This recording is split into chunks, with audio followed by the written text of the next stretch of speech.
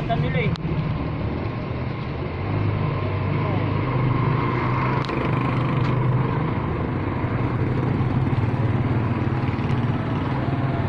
Na na naman.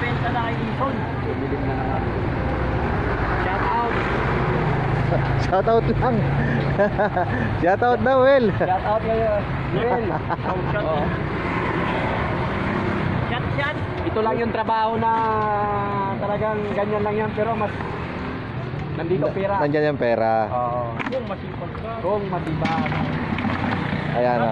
Sabi nila marumi. Pero totoong marumi talaga yan. Siyempre basura. Pero Samahan nyo kami sa aming kwan ngayon. uh, uh, ano, content na isang basurero. Basurero man. Pero yumaman. yumaman. Di ba maraming basurero na yumaman, no? Papakabakasyon lang to. Biyahe to ng Cagayan. Nakita mo? Kagayan.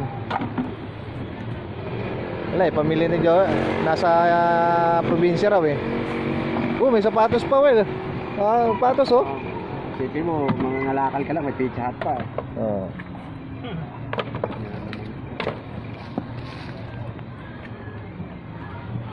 Crooks to. Eh, pwede pang ano oh. Nakita ko na naman si Joel, kaya ito. Sinama ko na naman ulit sa vlog ko.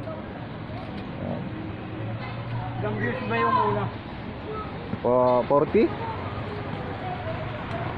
Kay Luloy, 70. Pasayaw-sayaw lang eh. Eh, si ano, si... Si Boy. Tay. Ayan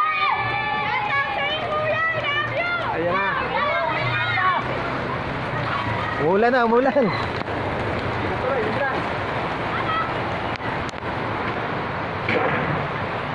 Ay, umulan. Ah, dito kami sumilong. Minong. May bagyo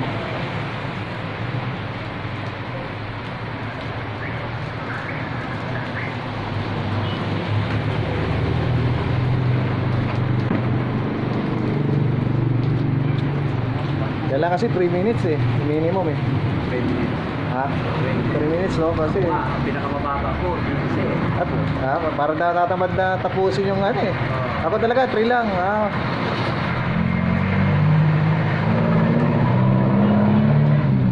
Umulan. Mamaya-maya pala ah, mga desperado, uwi na kami. Lapit na mag 5 eh.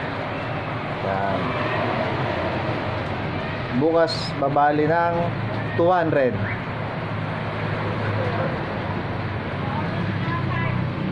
Ay, yan, nagbigay sa akin ng ulam, yan nandun sa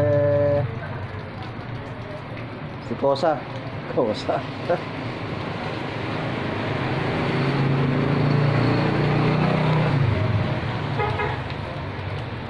Yan, 3 minutes na.